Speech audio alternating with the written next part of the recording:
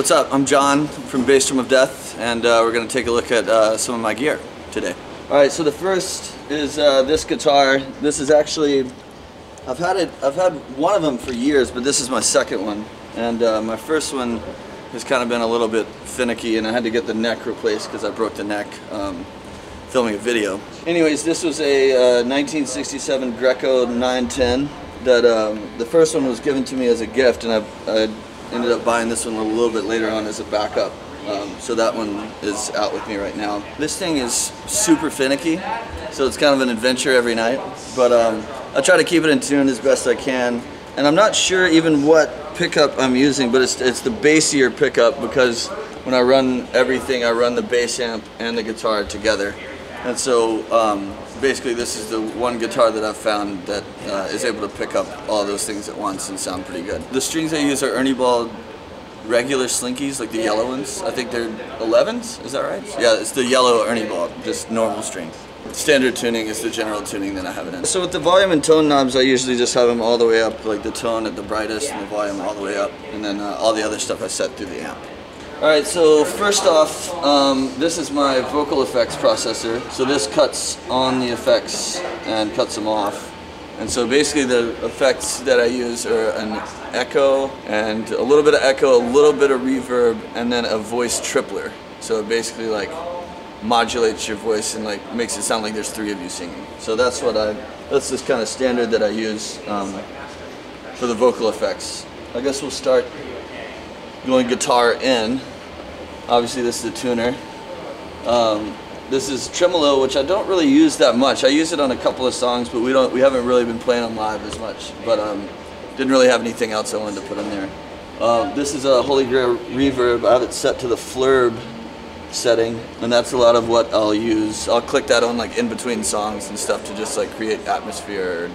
You know, it kind of sounds like more of a, a like flanger or um, something like that once you crank this up a little bit more. This is my Micro POG, and I have this, this is what I click on to make my guitar sound like a bass. And so I've got the sub octave all the way up and then the dry and the octave up set at about 50.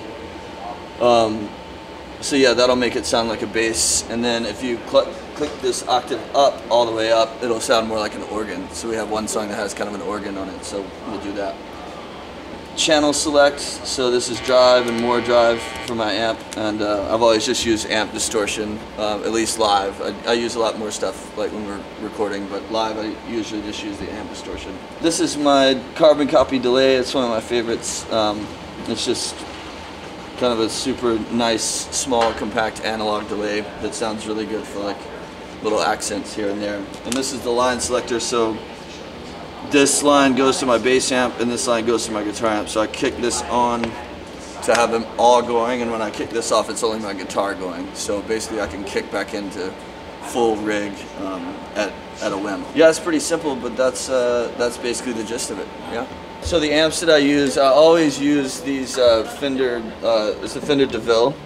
And um, yeah, so I usually have, I usually have the settings the bass down a bit and then the treble and middle all the way up because this is getting all my highs. And um, and then you know I'll click I use the amp distortion as well so that kind of works. I've found that the Fender DeVilles work best with my guitar.